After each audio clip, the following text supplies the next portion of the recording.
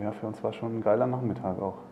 Ja, die Erinnerung, die ist schon noch da. Ähm, liegt einfach daran, dass es halt mein erstes Profitor war und ähm, das Spiel war damals in Oberhausen. Ja, denn heute war er nicht nur da, sondern auch gesund. Angelo 4, die neue Oberhausener Sturmhoffnung. In der Saison 96, 97 sowie 97, 98 Zweitliga-Torschützenkönig mit je 18 Treffern für Rot-Weiß Essen und den FC Gütersloh. Also RWO wollte heute vier Gewinn spielen. Der äh, hat leider zu viel geknipst auch, ja. Das war so ein typischer Zweitligastürmer auch, der auch die Qualitäten für die zweite Liga auch hatte. Matthias Hein immer noch für den angeschlagenen Reichhold im Tor der Gäste. Die heute ohne Tür, Prinzen und Jonkov. Dafür schickt der Benno Müllmann, Meichelbeck, Schmidt und Huber aufs Feld. Das Spiel lief total beschissen an. Also wir waren, glaube ich, schon nach 20 Minuten 3-0 hinten. Und ich hatte damals noch nicht so einen guten Stand beim Trainer Benno Müllmann der war damals äh, schon auch ein sehr harter Trainer auch und äh, ich war gerade so auf dem Weg, mir so meinen, meinen Platz so ein bisschen zu erkämpfen auch und äh, gerade im ersten Jahr hatte ich noch ziemliche Probleme, auch körperliche Probleme und im zweiten Jahr wurde es dann ein bisschen besser. Chaos im 5-Meter-Raum der Fürther, aber nur Chaos oder auch Tor? Angelo 4 jubelt. Ja, gibt's das denn? Es war ein Tor und ausgerechnet von Angelo 4. Keine fünf Minuten auf dem Platz und schon das erste Saisontor für Rot-Weiß Oberhausen. Hut ab. nee, ich habe ja da links gespielt ähm, und äh, ich hatte jetzt nicht so viel mit ihm zu tun, aber wir haben ihn einfach nicht unter Kontrolle gebracht. Aber grundsätzlich haben wir auch speziell in der ersten Halbzeit alle einfach schlecht gespielt. Tobak um vier. Ich werde verrückt. Der hat die eingebaute Torgarantie. Oliver Schmidt, dann der Peter Scarabella und der Nikos Bordoni, die haben die Dreierkette gespielt. Und ich habe so ja, links im Mittelfeld gespielt. Also war jetzt nie der schnellste, auch nie der beweglichste.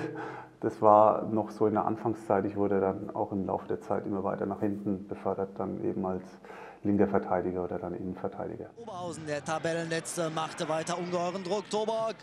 Und dann kommt Pröpper nicht an den Ball, dafür Scarabela und zwar mit der Hand.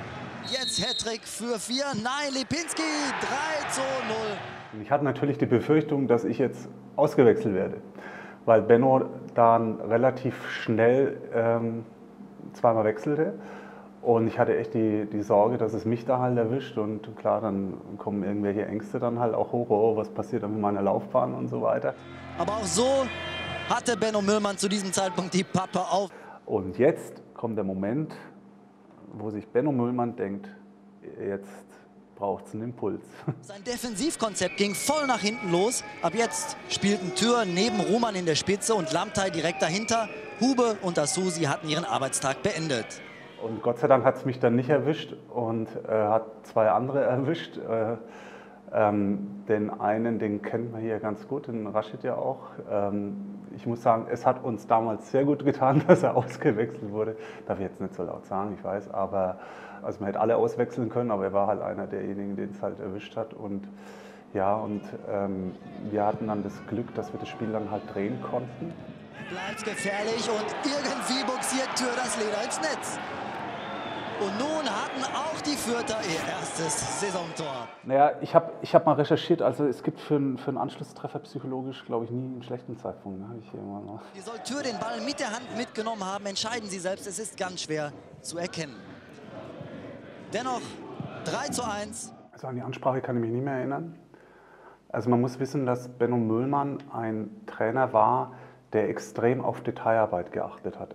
Und er hat natürlich auch gewisse Vorstellungen, wie ein Spiel laufen soll. Wenn das natürlich nicht der Fall war, dann konnte er natürlich schon auch sehr ärgerlich sein und ähm, dementsprechend halt auch mal an der Linie abgehen oder auch in der Kabine.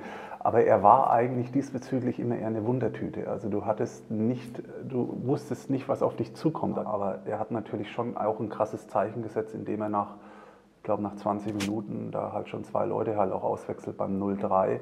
Klar, wenn du, äh, wenn du so, eine, so einen Misserfolg hast in auch so kurzer Zeit, dann willst du als Trainer ja eine Veränderung. Du musst ja irgendwas bewirken, du musst dir irgendeinen Impuls setzen, damit es einfach wieder besser wird.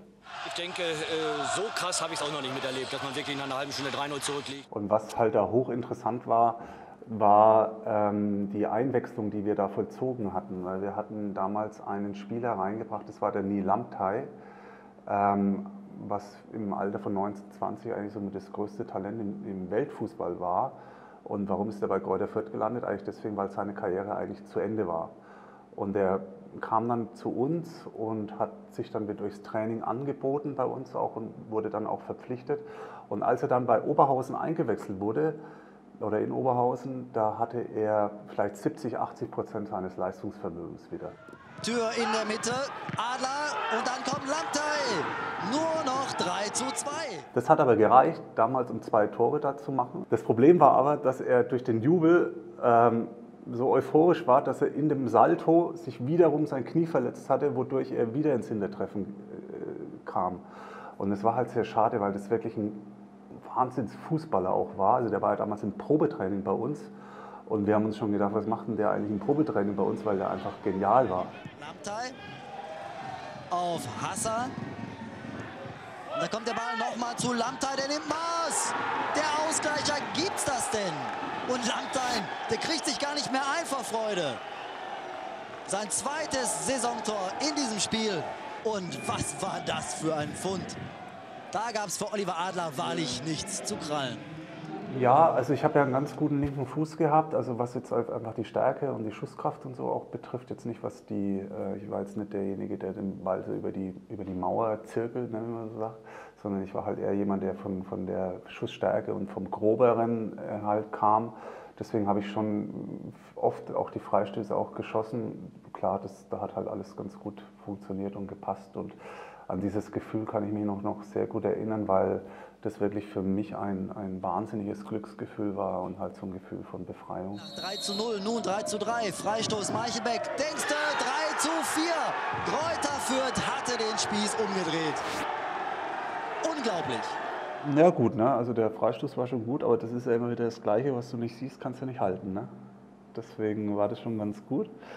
Ähm, klassischer Tor, ich hatte keinen. Also ich habe mich einfach ja, ich hatte, lustigerweise hatte ich immer den Blick zum Himmel. Also irgendwie habe ich immer hochgeguckt und äh, hat auch mit meinem Glauben da sicherlich auch zu tun, dass man da unbewusst immer auch nach, nach oben guckt. Ne? Also ich sehe das jetzt wirklich das erste Mal seit, äh, was haben wir, 2020, das war 1999, oder? 21 Jahre her, ne? schon, schon krass, ne? wie schnell auch die Zeit vergeht in dem Fußballbusiness. Ne? Aber das war es noch lange nicht. Wir haben noch ein, ein verrücktes Spiel, ein Wahnsinnsspiel und noch war nicht Schluss. Vier, Latte, Tobak. Jetzt hatten sie auch noch Riesenpech. Es blieb am Ende dabei. Hatte ich eigentlich schon erwähnt, dass Rashid ausgewechselt wurde in dem Spiel? Sagen wir mal so, das war schon, wenn ich es jetzt nochmal anschaue, ein sehr, sehr glücklicher Sieg.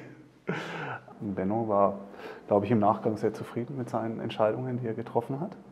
Mannschaft hat sich wirklich in der zweiten Halbzeit hoch verdient. Äh, wir haben natürlich in der einen oder anderen Situation etwas Glück gehabt, aber die Tore waren rausgespielt. Die waren jetzt nicht durch äh, so katastrophale Abwehrfehler bedingt, wie äh, wir sie selbst gemacht haben in der ersten halben Stunde. Aber für mich persönlich war das wirklich so ein ganz, ganz wichtiger Wendepunkt in meiner, in meiner Laufbahn. Also ich glaube, wenn ich diesen Moment nicht gehabt hätte oder vielleicht, wenn ich nach 20 Minuten ausgewechselt worden wäre, mich jetzt auch treffen können, ähm, dann wäre vielleicht meine Laufbahn ganz anders gelaufen, hätte es vielleicht gar keine Laufbahn gegeben. Ne? Und deswegen, ja, zum richtigen Zeitpunkt äh, ein ganz, ganz wichtiges Tor geschossen und dadurch ähm, einen Weg nehmen dürfen, den ich selber nicht glaubte, dass der mal so kommen kann. Ja. Also mein Ziel war immer nur, mit dem Fußball mein Studium zu finanzieren. Das war eigentlich so mein primäres, primäres Ziel. Und dann, klar, als ich dann Profi wurde, dann willst du natürlich dich dann auch stabilisieren in der zweiten Liga, aber dass es dann auch so schnell in die Bundesliga auch geht, das hat mich damals schon auch, ähm, ja, schon auch sehr überrascht, auch wie schnell das dann auch ging. Aber es ist Fußball. Die Dynamik, die äh, holt uns auf allen Feldern immer wieder ein.